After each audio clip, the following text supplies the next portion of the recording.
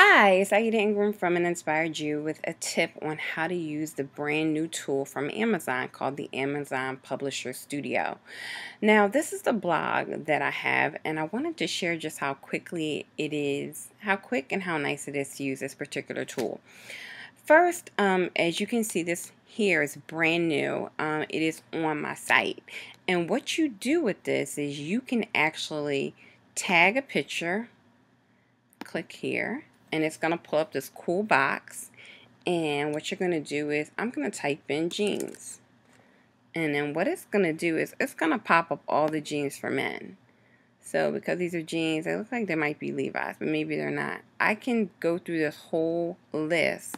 I'm going to put in Levi's to make it a little bit uh, a little bit easier to find what I am looking for which is Levi's jeans. Okay. It's going to search Levi's jeans for men. And there's a 505 fit here or a 550. I think I'm going to go for the 550. I'm going to click on this.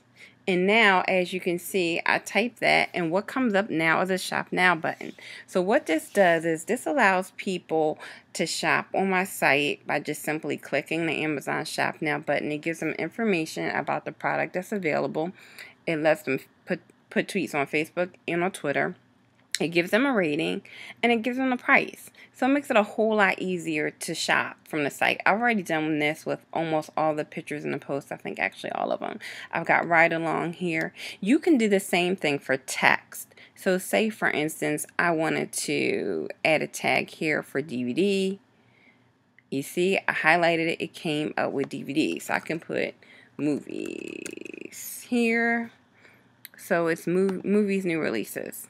So I clicked on that. It's going to scroll through and it's going to pull up some of the brand new movies that are on DVD. So I can now, when everybody clicks on this, they'll get information because this is now a link about DVDs and especially the one we just highlighted.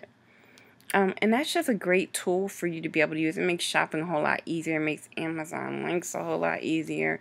And one of the things I hated about the tool before was whenever you used it, it like had the price over here and it said check Amazon for price. And it's like, what was the point of that? But with this, it makes it a whole lot easier. This is now a hyperlink. It just automatically will send them over to the same link they'll see if they click on this picture down here. Gives them the price, the ratings, and all that great stuff.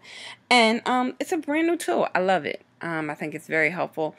The only thing that I will tell you that I did find out is setting it up wasn't quite as easy as I thought it was going to be, but it wasn't terribly difficult. I think the deal is it's just so new. People haven't really had a chance to check it out, so that's probably why you're not, um, why the instructions aren't quite as easy to follow. But check that out. You know, real subdued. People can buy it, shop now if they want to. If they don't, no worries. But the information is there if they want it, and then they have options. They know how much it costs, and and if they click on it, it goes to your affiliate link. So just something else to think about. I love this tool, and I encourage you to check it out. You know, it's great to go shopping. It's great not to have to leaf through all the Amazon stuff to get what you want and have information available when you want it. So take a look at that um, and um, let me know what you think.